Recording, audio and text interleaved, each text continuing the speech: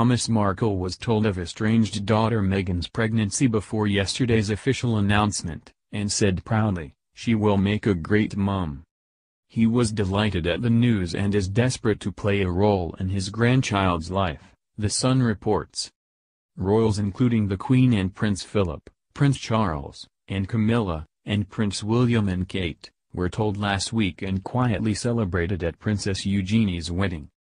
Yesterday's official announcement revealed Meghan's mum Doria Ragland also knew and was very happy, but the Kensington Palace statement made no mention of Thomas. The former Hollywood lighting director, 74, has not spoken to Meghan or Harry since the day after their wedding in May. And he is not thought to have learned of the pregnancy directly from Meghan.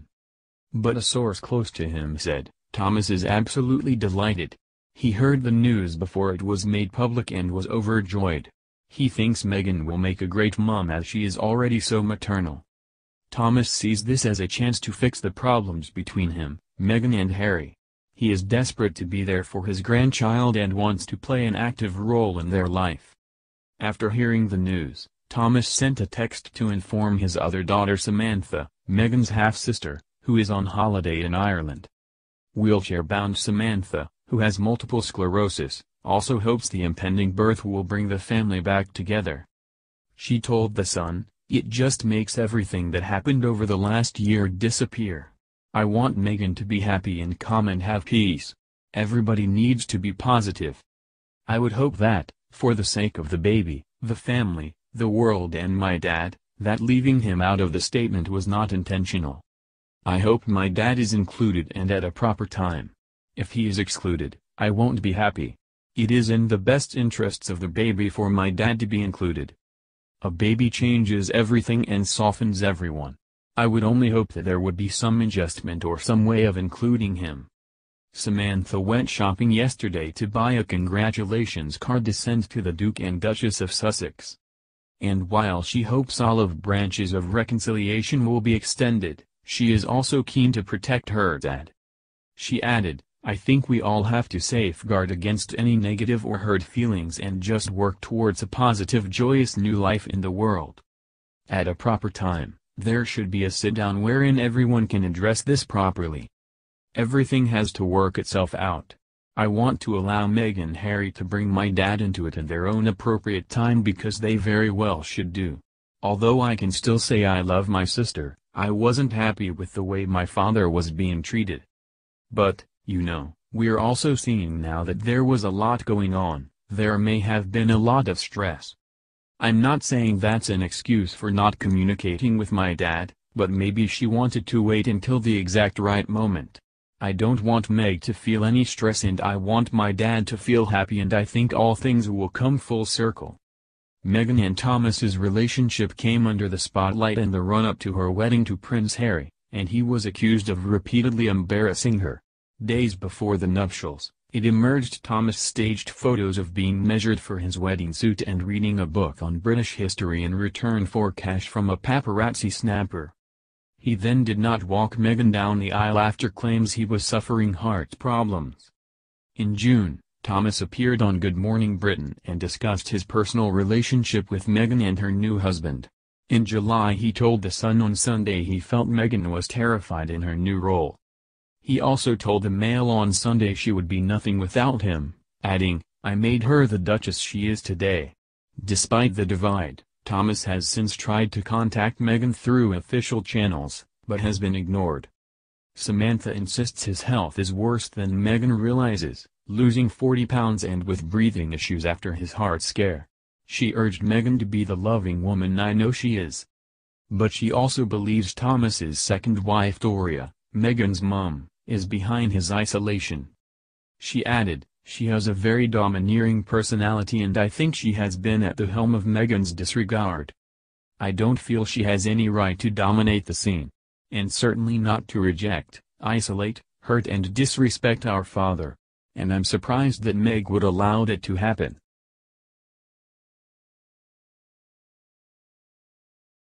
Meghan Markle's half-sister Samantha Markle was turned away from Kensington Palace, after travelling to the UK in an attempt to meet the Duchess of Sussex. Pictures show Ms. Markle giving a letter to staff outside Kensington Palace, after reportedly being refused entry to the royal residence.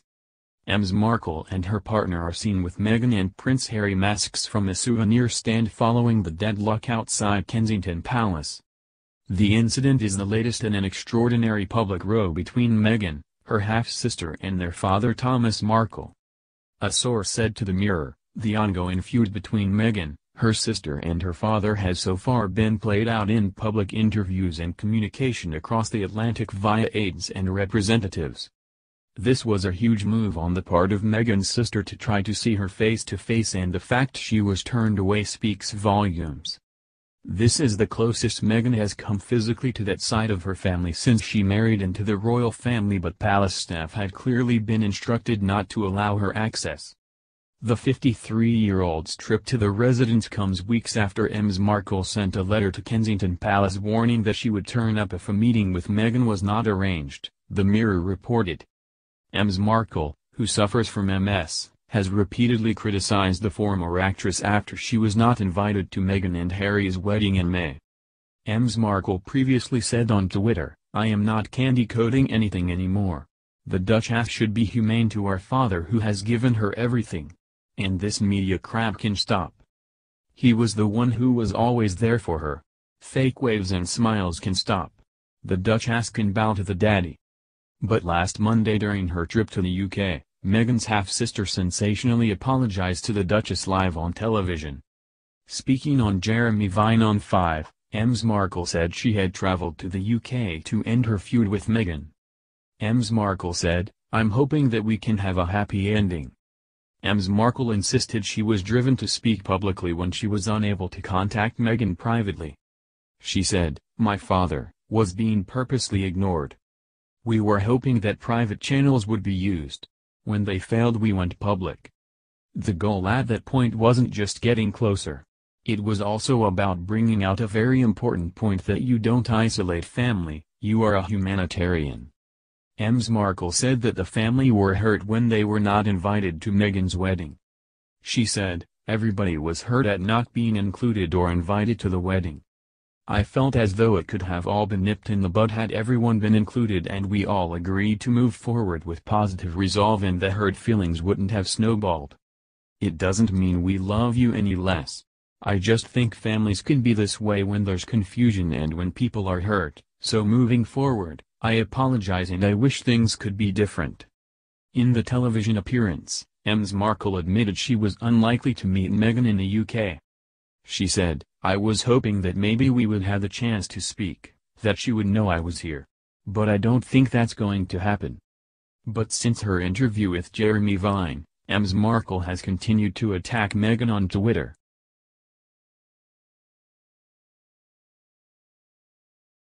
Meghan Markle's father Thomas has received violent death threats from a close female friend's ex-boyfriend who terrorized the female, forcing them to move to a safe house after the abuse escalated.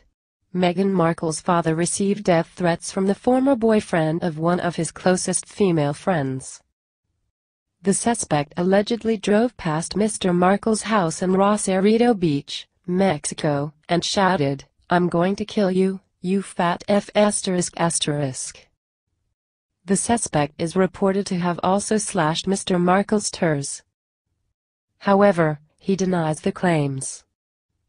Thomas Markle told the Mail on Sunday, the first time he threatened me was after I took opening bracket my friend and her daughter closing bracket for pizza and we were photographed by the paparazzi. He texted me saying, I will kick you, you fat F asterisk asterisk. I wrote back saying, You don't even know me, what's wrong with you? Why would you feel threatened by a 74-year-old man? He thought something sexual was going on between opening bracket her closing bracket and me but it's not. Opening bracket she closing bracket isn't my girlfriend. She hasn't hustled me for money. I've helped her financially so that she could get to a safe place to live with her daughter. The threats come as Thomas Markle continues to adapt to life in the public eye following his daughter's marriage to Prince Harry. The ex-boyfriend has reportedly carried out a campaign of terror against Mr. Markle's friend and her daughter. The incidents have been reported to the police as part of an eight-page document. The report reads, He grabbed me by the neck while twisting it, as if he was choking me and I have pictures of these aggressions. He spat on my face. He goes to my uncle's house, referring to Thomas Markle, and tells him that he is going to kill him because he is constantly hiding me and threatens and insults him. In an interview with the Mail on Sunday, the victim said, Tom has been nothing but a supportive friend. He's been a rock for me and my daughter and I'm sorry he's been dragged into this violent and abusive situation. My daughter calls Tom uncle. He's the most genuine and kind person I know and the most stable male figure my daughter has ever known. My ex-boyfriend is demanded. He has threatened to kill me and my daughter multiple times and has made multiple threats to Tom's life.